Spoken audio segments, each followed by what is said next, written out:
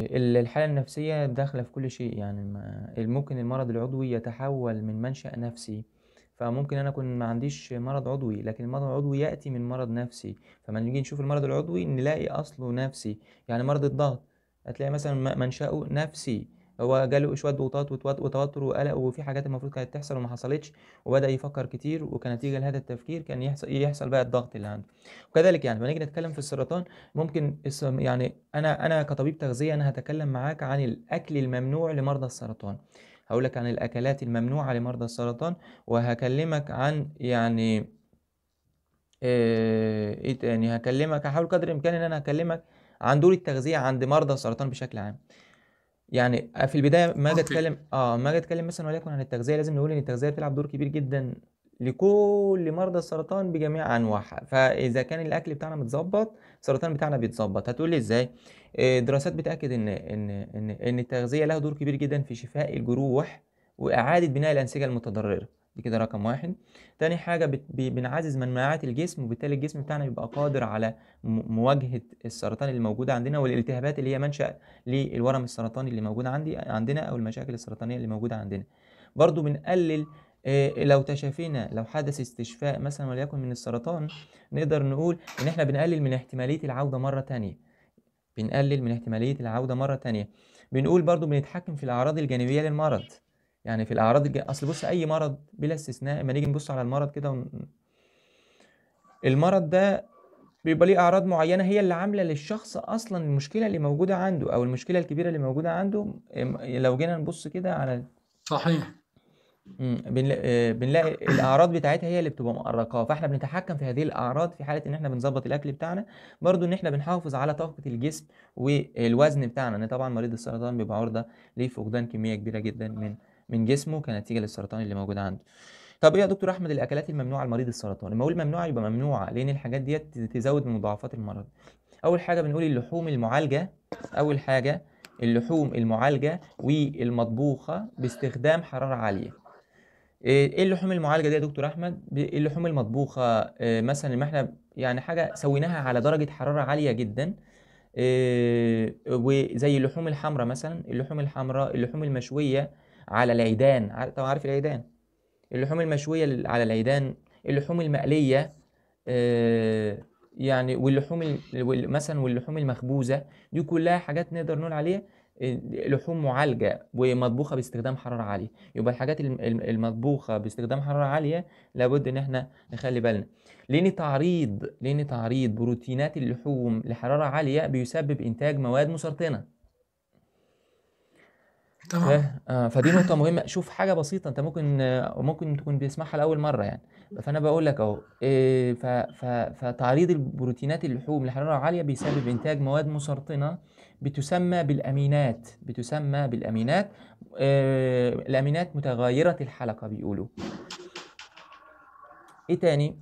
ومن اللحوم المعالجة مثلًا بنقول اللحم المقدد والنقانق، الن النقانق واللحم المقدد، ده كده بشكل أساسي كده لو جينا مثلًا وليكن بنتكلم أول حاجة إيه، اللحوم باست باستخدام درجة حرارة عالية علشان نمنع آآ آآ إنتاج أي مواد مسرطنة كنتيجة لدرجة الحرارة العالية دي، دي كده رقم 1. تاني حاجة بنتكلم فيها الأطعمة المحفوظة. آآ في في مادتين أنا عايزك في مادتين عايز أعرّفهم لك، في مادة اسمها آآ مادة النترات وفي مادة اسمها النيتريت، النترات مادة النترات ومادة النيتريت، مادة النترات والنيتريت ديّة تعتبر من المواد المسرطنة. المواد مادة النترات والنيتريت ديّة بيستخدموا في الأطعمة المحفوظة، زي المخللات والمربى آآ مثلًا، المخللات والمربى مثلًا المواد المواد الحافظة اللي بيستخدموها النترات والنيتريت وديّة أصلًا آآ ب يعني مادتين يعني منشأ ل يعني يعني من المواد ال ال اللي تكوّن السرطان داخل الجسم، تمام؟ فدي برضه دي دي يبقى تاني حاجة الأطعمة المحفوظة، تاني حاجة الأطعمة المحفوظة لازم نخلّي بالنا منها كويس أوي، برضه من ضمن الممنوعات. تالت حاجة بنقول اللحوم غير المطبوخة، تالت حاجة اللحوم غير المطبوخة. لو الأكل بتاعنا لو الأكل بتاعنا ما اتطبخش كويس ولم يُطهى الطهي الجيد هتبقى دفعة قوية جدًا لينا إن يعني آآ إن إن إن يعني الأكل الغير مطبوخ بشكل عام زي الفراخ مثلًا واللحمة والسمك، الفراخ واللحمة والسمك لو إحنا كلناهم مش مطبوخين كويس برضه آآ يعني من ضمن الحاجات اللي ممكن تسبب لنا السرطان عندنا أو تزود من مضاعفات السرطان لو هو موجود. فدي برضو نقطة لا- لازم ناخد بالنا منها كويس قوي آه، طب يا دكتور إيه الأنواع إيه الأنواع مثلا اللي زي, زي اللي فيها اللحوم الغير مطبوخة؟ زي السوشي مثلا. السوشي اللحوم الباردة اللحوم المطبوخة آه، زي مثلا المارتديلا المارتديلا برضو تعتبر من عارف طبعا هتعرف المارتديلا ولا؟ لك لك. المعلبات. أيوه. هناك برضو آه، العديد من المنتجات اللي بتحتوي آه، على البيض غير المطبوخ. يعني بعض الم... يعني مثلا آه، زي بعض صلصات الص... يعني زي مثلا صلصات السلطة والمايونيز. صلصات الس... الصلصة بتاعت السلطة يعني بيسموها صلصات السلطة ولا بيسموها إيه؟ صلصات صلصات السلطة السلطة. السلطة اللغة بتاعت ضاعت صلصال. آه آه آه. صلصات السلطة آه. صلصات السلطة والمايونيز. صلصات السلطة والمايونيز. يبقى صلصات السلطة والمايونيز برضو من ضمن الحاجات الممنوعة منعا باتا لمريض السرطان و آه، آه، يعني اللحوم غير المطبوخة. قلناها لازم الأكل بتاعنا يكون مطبوخ مطهي طهي بشكل جيد. علشان الحاجات دي ممكن تسبب لنا وقلنا أشهر حاجة السلطات آه، صلصات السلطة والمايونيز والسوشي والحاجات دي. يبقى ده كده آه، تاني حاجة. تالت حاجة ممكن نتكلم فيها يا دكتور أحمد نقول إيه؟ بعض الخضار والفواكه. بعض الخضار والفواكه. آه، بعض الخضار وال- والفواكه مثلا آه، صعبة التنظيف. بعض بعض الخضار والفواكه اللي بتبقى صعبة في التنظيف مثلا زي الخس والفراولة وتوت الع- العليق. الفراولة و- والخس وتوت العليق مثلا. يفضل إن إحنا نبعد عنها بع- بعدا تاما لأن هذه الأشياء يعني آه، بتبقى برضو سبب آه، يعني منشأ للأورام السرطانية أو تزيد من المضاعفات لو إحنا عندنا برضو السرطان. الجريب فروت. الجريب فروت يا دكتور أحمد ده الجريب فروت ده يعني اللي إحنا عارفينه آه، آه، يعني معظم يعني بيتفاعل الجريب فروت بيتفاعل مع بعض الأدوية ممكن يقلل من مفعول هذه الأدوية مثلا اللي بتاخدها بتاعة السرطان. فنقدر مثلا وليكن بس من المعروف إن الجريب فروت أصلا من ضمن الحاجات المفيدة جدا إيه، لكن زي ما قلنا هو بيتعارض مع مثلا أدوية ال ال ال ال ال القلب أو الحاجات اللي هي مثلا وليكن ممكن تكون بتاخدها. فالجريب فروت معروف إن هو بيعمل تداخلات دوائية يعني يبقى هو يعني يقلل من مفعول الدواء اللي هي بتاخده. فاهم فإحنا بنقول برضو الجريب فروت. إيه، ده ده أغلب الحاجات دي أغلب الحاجات اللي هتذكرها معاك ديت يعني أنت حاول قدر الإمكان إن أنت تظبطها كده وايه وت- وتوصل لها هذه الفكرة. اول دي دي دي دي الممنوعات. طب يا دكتور المسموحات لمريض السرطان إيه؟ بنقول البروتينات المس... المسموحات يعني آم، يعني نقدر نقول إن مريض السرطان مش زيه زي أي شخص. لا بيحتاج إلى كميات من البروتين بتبقى أعلى شوية يبقى يحتاج كمية من البروتين بتبقى أعلى شوية. من مص... من مص... من أفضل مصادر البروتينات اللي إحنا بنقولها لمريض السرطان أول حاجة اللحوم قليلة الدهون. والأسماك والفراخ أو الدجاج ومثلا نقول آه، الحبوب الكاملة زي القرنبيط والشوفان. القرنبيط والشوفان. استنى أوريك حاجة. خليك معايا دقيقة. تمام دكتور. شايف ده؟ ده الشوفان. عارف الشوفان ولا طبعا تعرف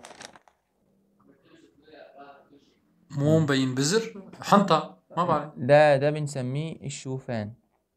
الشوفان. شوفان مم. آه. تم- تمام؟ أو بيسموه هنا في تركيا يلاف ازمسي بشكل بسيط بس عشان الأمور تبقى واضحة بالنسبة لنا يبقى إحنا كده قلنا يا دكتور أحمد إحنا عايزين بروتينات مش عايزين عايزين كمية أكبر شوية للشخص اللي مريض السرطان. آه، محتاجين أفضل أنواع البروتينات اللحوم قليلة الدهون الأسماك الد- الدواجن مثلا منتجات الألبان آه، آه، قليلة الدسم قلنا الكربوهيدرات قلنا الكربوهيدرات محتاجين يعني نمد الجسم بص الكربوهيدرات ده هو المصدر الرئيسي للطاقة هو المصدر الرئيسي للطاقة. يبقى لما نيجي نقول كربوهيدرات أو نشويات يعني مصدر الرئيسي للطاقة فالناس اللي ما بتاكلش فعشان كده قلت لنا إيه آه نحص... نا- ناخد مثلا وليكن الطاقة دي منين؟ من الخضروات والفواكه والحبوب الكاملة آه زي مثلا ال- القرنبيط والشوفان تمام؟ دي حاجات برضو مهمة لازم. ناخد آه. بعد كده ممكن نتكلم عن الدهون. إحنا محتاجين الدهون. الدهون من أنواع الأكل المسموح لمريض السرطان. لكن يجب التركيز على تناول الدهون الأحادية الغير مشبعة. الدهون الأحادية عديمة التشبع أو الغير مشبعة. زي إيه؟ زي زيت الزيتون. زي زيت الفول السوداني. زي زيت الكانولا. المفروض تكون بتكتب هذا الكلام رايح. ماشي. آه، زيت الزيتون أو زيت الكانولا أو زيت الفول السوداني أو مثلا نقول مثلا آه، الدهون متعددة غير المشبعة مثلا زي حبوب الكتان وزيت الذرة. حبوب الكتان وزيت الذرة. بعد كده آخر حاجة بنتكلم فيها الألياف. مهمة جدا برضو لمريض السرطان. الألياف مهمة جدا لمريض السرطان. الألياف تعتبر من من أنواع الأكل المسموح لمرضى السرطان. آه، يعني إيه ألياف؟ آه، مريض السرطان بيكون عرضة للإمساك والإسهال بشكل مستمر? يبقى عرضة للإمساك والإسهال بشكل مستمر. فإحنا محتاجين الألياف علشان علشان نتحكم في كل من الإسهال والإمساك. الألي... أفضل أنواع ألياف ممكن ناخده موجود برضو في الشوفان.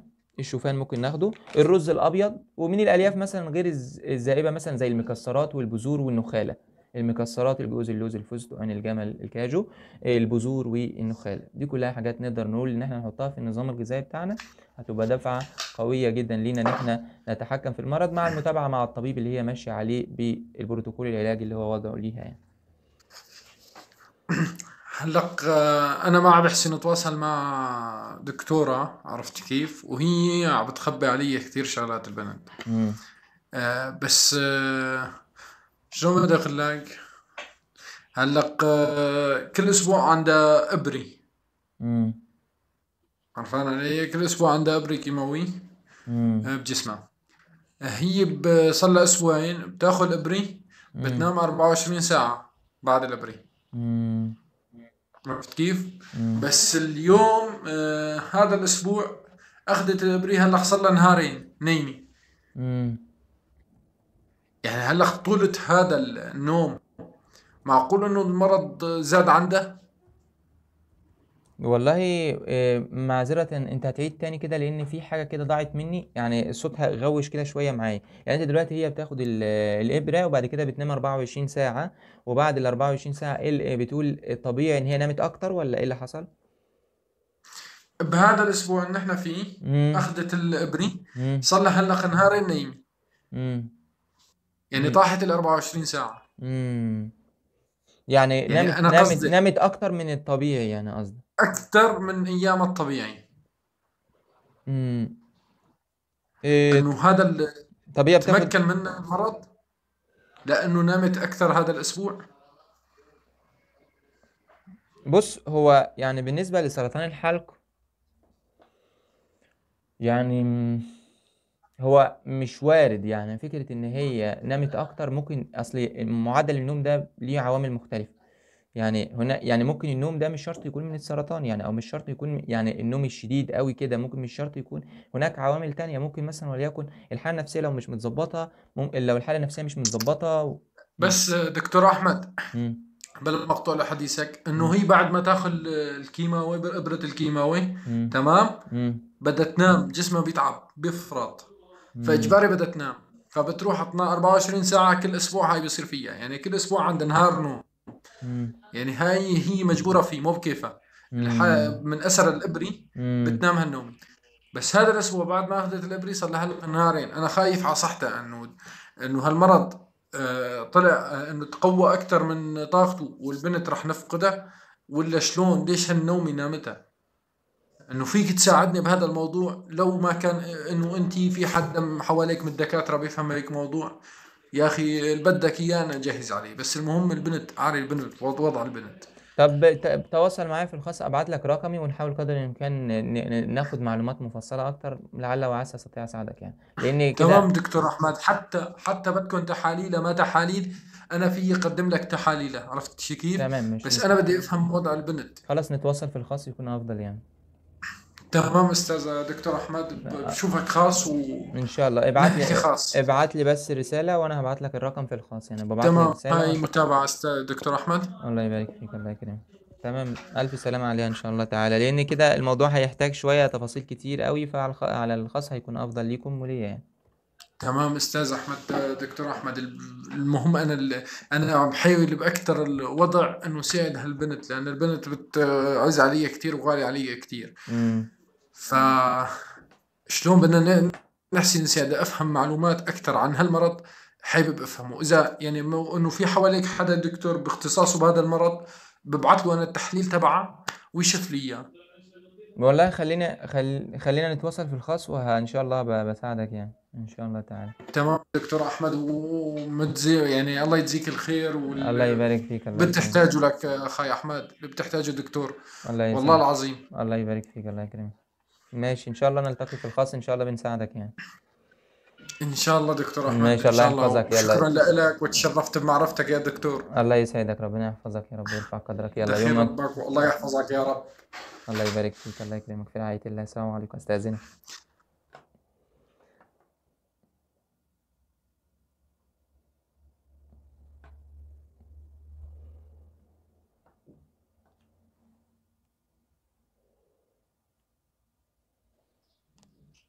السلام عليكم. السلام. وعليكم السلام. كيف الصحة والأخبار؟ كيف الصحة؟ الحمد لله تمام. عامل إيه؟ أنا زي الفل والله تمام. أنا دكتور تغذية لو عندك أي أسئلة في التغذية ممكن تسألنا نفيدك يعني. تغذية؟ مم. عندك أي حاجة تدخين مم.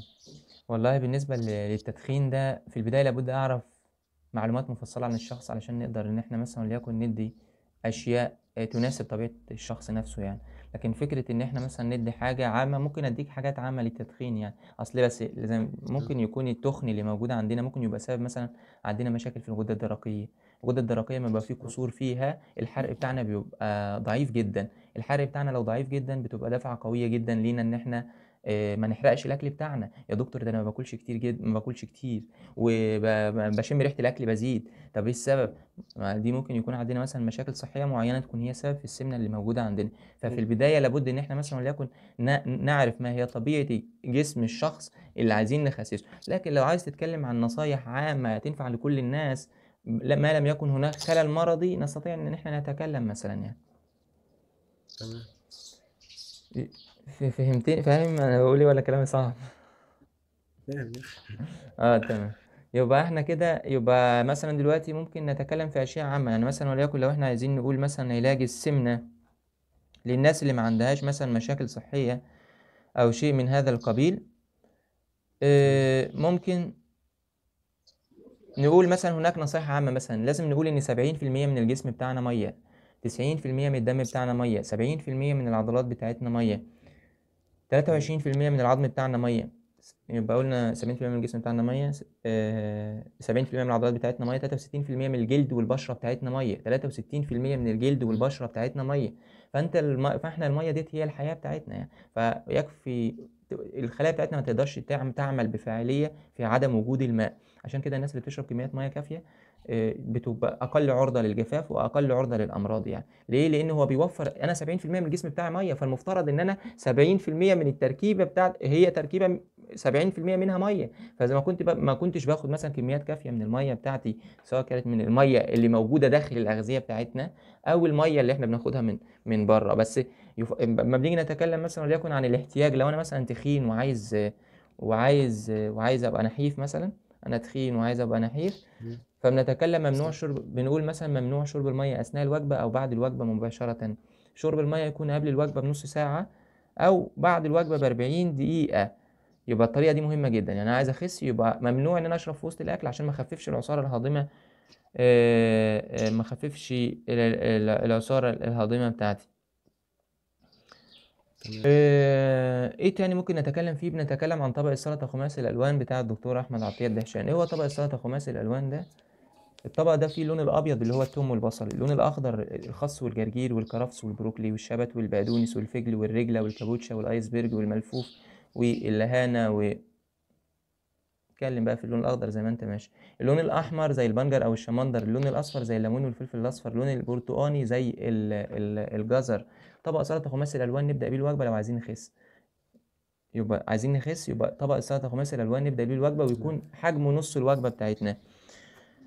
آه، بنقول برضو لو إحنا عايزين نخس عايزين نكتر من تناول الأغذية آه، يعني اللي بتحتوي على فيتامينات وأملاح معدنية والألياف ودي موجودة فين؟ لسه قايلينه من شوية في طبق السلطة خماسي الألوان. وده هنبدأ بيه الوجبة بتاعتنا علشان نحس بالشبع السريع.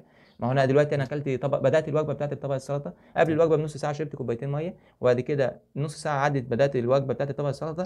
بطني أصلا تكون اتملت فأنا أصلا هاكل كمية بسيطة من باقي الأكل هكون شبعت. فهشبع آه، هشبع بسرعة. يعني آه، كلت أقل في السعرات الحرارية يعني هخس. آه، في بعض الحاجات لازم نبعد عنها لو إحنا عايزين نخس. الإكثار من تناول الم- المواد المغذية غير المصنعة اللي بت... آه، يعني آه، يعني أفهمك إزاي أقولها إزاي؟ يعني نحاول قدر الإمكان إن إحنا الوجبات السريعة والوجبات السريعة نحاول قدر الإمكان مثلا وليكن ال- الوجبات السريعة بتاع يعني نبعد عن الوجبات السع... آه، آه، الوجبات السريعة والمشروبات الغازية و... يعني انت تعرف ان واحد ملي فقط من المشروب الغازي واحد ملي فقط من المشروب الغازي بيدينا آه، سبع سعرات حرارية واحد ملي فقط. تخيل لو انت أصلا بتشرب كوباية صغيرة كده وفيها 200 300 ملي اضرب 300 ملي في سبع سعرات حرارية فانت حتى لو ماشي على نظام غذائي وبتمارس رياضة وشربت لك مثلا علبة إزازة كده في اليوم يعني انت بوظت كل ال- ال- اللي انت عملته مع نفسك. لأن واحد ملي بتدينا سبع سعرات حرارية طاقة. ف... وانت أصلا ما بتتحركش مثلا أو ما, ما عندكش الحركة الكافية أو فتلقائيا بيتخزن. أصل بص التخسيس ده عامل بالظبط زي واحد مرتبه 3000 جنيه. أنت قاعد فين الأول في مصر ولا؟ قاعد في مصر؟ أنت ساكن فين؟ شري آه في الشرقية. تمام إحنا شراويه زي بعض. على العموم. يعني؟ آه أنا ش... أنا في إحنا شراويه زي بعض بس أنا في تركيا حاليا يعني. اللي أنا بس عايز أقوله لك. آه آه. ده بس أنا بسألك سؤال كده. أنا من ديار بنجم. ربنا يحفظك. إيه أنا عايز بس أقول لك حاجة. إن إحنا قلنا عايزين مثلا وليكن إيه يعني إحنا دلوقتي عايزين نخس يبقى إحنا دلوقتي بنقول المر... التخسيس عامل زي إيه؟ لو أنت مثلا مرتبك في الشرقية في القرية اللي أنت شغال فيها في الشغل اللي أنت شغاله بتاخد 3000 جنيه. أنت بتصرف منهم 1000 جنيه. هتيجي آخر الشهر تروح رامي ال 2000 جنيه تحوشهم. لا حوشهم طبعا طبعا هتحوش جسمي برضو مش غبي. أكلته أكل إضافي زيادة عن حاجته هيحوشه برضو عشان يوم الزنقة.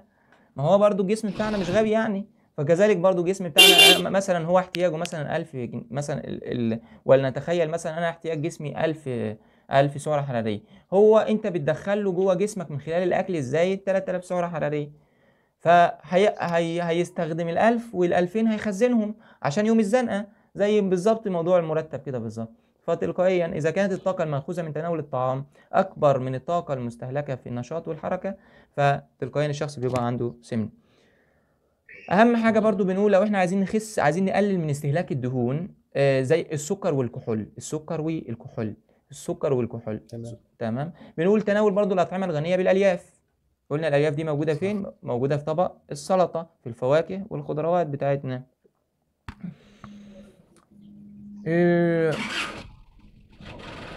نقول إيه تاني مثلا؟ ممكن نتكلم ممكن نتكلم في النوم مبكرا والاستيقاظ مبكرا. إما الواحد بينام بالليل كويس إما الواحد بينام بالليل كويس بتبقى دفعة آه، إما الواحد بينام في هرمونات بتفرز ليلا اسمها هرمونات الحرق والتمثيل الغذائي.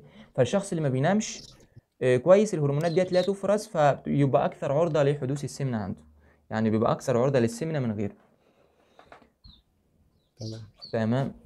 إيه إيه تاني يا دكتور أحمد؟ ده مثلا وليكن دي مثلا وليكن يبقى النوم مبكرا علشان ناخد الهرمونات اللي تساعدنا في إن إحنا نحرق طول النهار.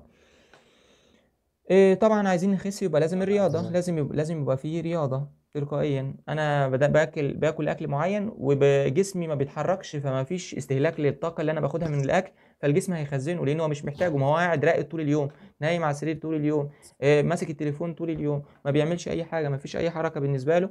فتلقائيا الأكل بتاعه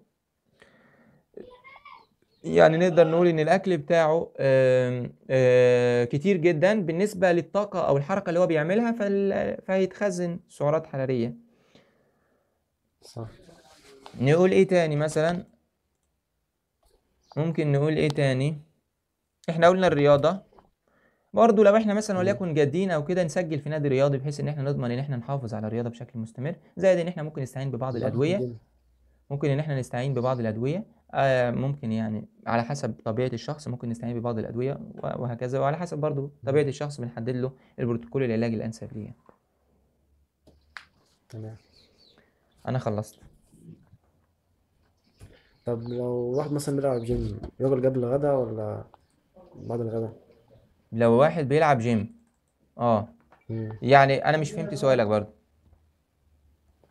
يعني قبل الجيم مثلا رايح الجيم آكل ولا بعد ما يجي الجيم يفضل إن أنت قبل الجيم تاكل حاجات بسيطة كده بتبقى عشان تديك طاقة أثناء التمرين وحاجات تاخدها بعد الجيم بشكل مباشر تبقى حاجات كلها بروتينات مع يعني نظام غذائي صحي يعني. فاهمني؟ فيفضل إن إحنا ناخد مثلا وليكن أنا بف... السلام عليكم. السلام عليكم. وعليكم السلام. كيف الصحة كيف؟ والأخبار؟ عاملة إيه؟ الحمد لله. كيفك أنت؟ الله يبارك فيك. أنا طبيب. لو عندك أي أسئلة طبية ممكن تسألينا نفيدك طبيب حق إيش طبيب حق؟ تغذية. نعم. تغذية. تغذية. امم معدة بتحرقني المعدة. امم يعني أنت دلوقتي ال- الموضوع ده من إمتى؟ من من زمان. أنا كان نروح عند طبيب يوديني الدواء بعدين نولي شوية وبعدين يرجع لي. تمام. بصي آه لو إحنا مثلا وليكن عايزين نتكلم عن حرقة المعدة حرقة المعدة السبب الرئيسي بتاعها الأكل الغلط ونمط الحياة الغلط اللي إحنا ماشيين فيه. فلا بد لو إحنا عايزين نحل المشكلة مش دواء مش الحباية. الحباية برغم إن هي ممكن تكون مهمة في وقت معين كنتيجة للغلط اللي إحنا عملناه لكن لو إحنا عايزين نحل المشكلة بشكل نهائي لابد إن إحنا نتخلص من آه، المسبب الرئيسي لحرقة المعدة. حرقة المعدة السبب الرئيسي بتاعها ال- النمط يعني آه، نمط الحياة الغلط. أنا هحاول قدر الإمكان دلوقتي آه، يعني هقول لك على بعض الأغذية وبعض الحاجات نحاول قدر الإمكان إن إحنا نحطها في من ضمن النظام الغذائي تبقى دفعة قوية جدا إن إحنا نستطيع إن إحنا نخفف من من من متاعب حرقة المعدة. صح. امم إيه من خلال مثلا تناول مثلا الحليب ومشروبات الزبادي الحليب ومشروبات الغز... الزبادي. الحليب نقدر نقول إن هو بيتميز بتأثير معادل لحمض المعدة. إيه إيه وفي الوقت ذاته نقدر نقول ان ينبغي تجنب كل المشروبات المحتوية على الكافيين لأن المشروبات المحتوية على الكافيين هي من ضمن الأسباب الرئيسية لحرقة المعدة عندنا زي القهوة الشاي المشروبات المحتوية على حمض الكربونيك المشروبات المحلاة بالسكر. المشروبات المحلاة بالسكر لأن المشروبات دي بتعزز من إفراز حمض المعدة وبالتالي بنزود حرقة المعدة عندنا دي كده يعني صح إيه، صح آه دي مثلا وليكن لما لما أشرب لما أشرب الشاي تسوي لي الحرقة في آه، بالفعل. ما أنا بقول لك أهو ما هو ده السبب. إذا كان ده السبب إذا كان ده السبب يبقى لازم نعالجه. هقول لك على شوية آه، أطعمة مهمة جدا لازم تحطيها في الأكل بتاعك. هقول لك على شوية أطعمة لازم تحطيها في الأكل بتاعك. لازم نبقى عارفين إن حرقه المعدة دي عبارة عن حدوث تهيج بالمريء وده الأنبوب اللي بيربط ال- الحلق بتاعنا ب آه، و- ب- بين الحلق والمعدة يعني. آه، وده بيكون سبب يعني في حدوث مثلا ارتجاع حمض المعدة. وبعد كده بقى الحرقة دي بتيجي كنتيجة لارتجاع يعني ارتجاع المريء. ده بيجي كن... حرقة المعدة بتيجي كنتيجة لارتجاع المريء. فاهمة. إيه بقى فاهمة. الأغذية يا دكتور أحمد؟ آه أنا بقول هذا الكلام ليه؟ عشان نبقى فاهمين الصورة. إن حرقة المعدة وارتجاع المريء الحموضة وارتجاع المريء وح- وحموضة المعدة حموضة المعدة وقرحه المعدة وارتجاع المريء كلهم كده مع بعض يعني. فاحنا لو قدرنا نظبط هذه الاغذيه. آه مجموعين. عشان كده تلاقي الروشته اللي بنكتبها في العيادة الروشته اللي بنكتبها في العيادة لحرقه المعدة أو قرحه المعدة أو ارتجاع المريء تلاقيها روشته آه، للثلاثه هي نفس الروشته فاهمة؟ بندي حاجة بت... بت... بت... ب... ب... ب... بندي حاجة بتقتل الحمض الم... بندي حاجة بتقتل البكت... البكتيريا المسببة ل... ل... آه، ل- لقرحه لحم لقرحه المعدة. بندي بندي حاجة مضاد مضاد حيوي قاتل البكتيريا المسببة لقرحه المعدة وحاجه بتقلل من افراز حمض المعدة وحاجة عشان تحمي جدار المعدة من الحمض المعدي نفسه. ده دي كده الروشته بتاعت العيادة. صح. لا آه آه. وده أي دكتور هيكتبه لك سواء حمضه معده قرحه معدة ارتجاع مريء لكن أنا التوصيات بتاعتي إيه؟ لابد إن إحنا نمنع الأكل الحراق والسمين ال- الأكلات الدسمة والحراقة والسمين. آه. آه لأن صح ديت لأن لأن ديت الأسباب الرئيسية لقرحه ال- ل- ل- لقرحه هي اللي وحموضه القرحة آه هي اللي بتسوي. إذا كانت بتسوي فلا بد إن إحنا نبعد عن ده ونعمل حلقه من من الاست- الاستشفاء. وبعد بعد مدة كده مثلا شهر شهرين نبدأ ندخل هذه الأشياء بس تبقى بكميات بسيطة كل فترة والتانية. لكن يكون كل يوم بناكل نفس آه يعني نكون كل يوم مثلا بناكل نفس خلاص الحاجة اللي فيها فيها زي الزبادي وداك الشيء ما تاكليها داك الشيء نشرب الشاي ما م- الحاجة اللي فيها دسم ما ناكلها. آه الله ينور عليك. شكرا. الله يجزيك الله. يوفقك دكتور الله يوفقك شكرا. الله يكرمك الله يخليك الله يبارك فيك. شكرا الله الله يسعدك ربنا يبارك فيك الله يكرمك.